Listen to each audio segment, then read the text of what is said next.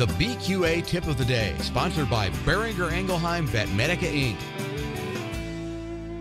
Today we're going to talk about taking care of your syringe and cleaning it after you get done. First thing you want to do is take the syringe and clean the outside with warm soapy water, get all the manure and, and different things off of the syringe. Then you're going to take the syringe apart to clean the inside. On the inside of the syringe, never use soap. Only use warm water to rinse that inside of the syringe out. We're going to let the syringe dry, and after it dries, we want to put it in a dust-free environment. One of the best places, put it in a Ziploc bag and then put it in your freezer.